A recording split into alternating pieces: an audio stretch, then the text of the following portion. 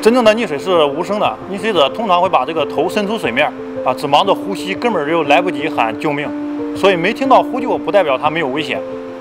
啊，此外还有这个姿势，很多家长不知道啊，在溺水的初期呢，溺水者是站立在这个水中的，因为他无法用四肢找到这个支撑点，他嘴巴呢通常是半闭的状态，很难挥动这个手臂进行呼救。看起来呢就像在水中爬楼梯，啊，别以为他在玩水，其实他是在垂死挣扎。看到这种情况呢，我们要第一时间大声的问询，如果溺水者没有反应，我们哪怕判断错误，也要在第一时间呢立即行动。在室内或者室外露天游泳场，这个遇到的危险呢，通常是由这个咱们游泳人的手足抽筋儿啊导致的。对于那些喜欢游野泳的人来说，野外水域也存在着极大的风险。呃，一个是这个水底的情况比较复杂，它可能会长有一些水草这些植物啊，容易缠到这个人的脚。呃，第二点呢是这个，在通常那个江河的岸边有一些延伸的区域或者缓冲的区域，孩子在玩耍的时候呢，容易滑落到这个深水区域。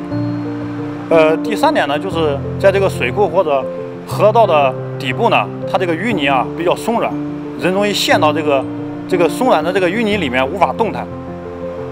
呃，第四点呢，就是有的这个水体表面啊看着很平静、很平缓，啊，但是在它这个水下面呢，却是暗藏漩涡，很容易把人给卷走、冲走。首先呢，我们要保持镇定啊，千万不要手慌。手忙脚乱的去拼命挣扎，啊，这样的话呢，可以减少这个水草对我们的缠绕，啊，同时也可以节省我们的这个体力，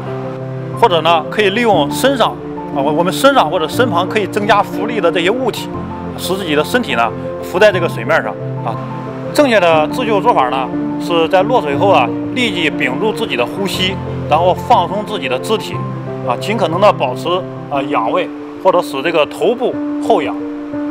只要不胡乱挣扎。人体在水中呢就不会失去平衡，啊，这样呢你的口鼻啊最先浮出水面，也可以进行呼吸和呼救。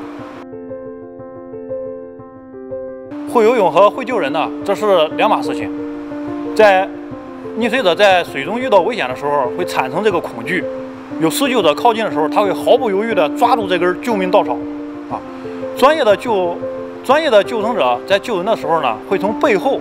抓住这个被救者的头发。抓住他的这个头发，或者他的脖子，啊，还要防止被救者抓住自己。如果是孩子遇到同伴落水，我们应该大声呼救，让附近的大人呢过来帮忙，啊，千万不能认为自己的同伴落水，自己不跳下去救就不够朋友，应该及时的找大人帮忙，才是救援成功率的最高方式。千万不要耽误了宝贵的救援时间。同时呢，应该积极寻找救生设备，比如游泳圈、救生衣，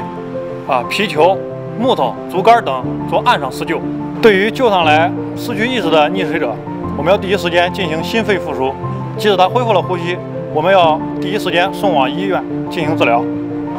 对孩子来说，爱玩水是他们的天性。儿童安全无小事，提醒广大家长，预防了解各类安全隐患，给孩子做好安全教育。给孩子万千疼爱，不如让孩子远离伤害。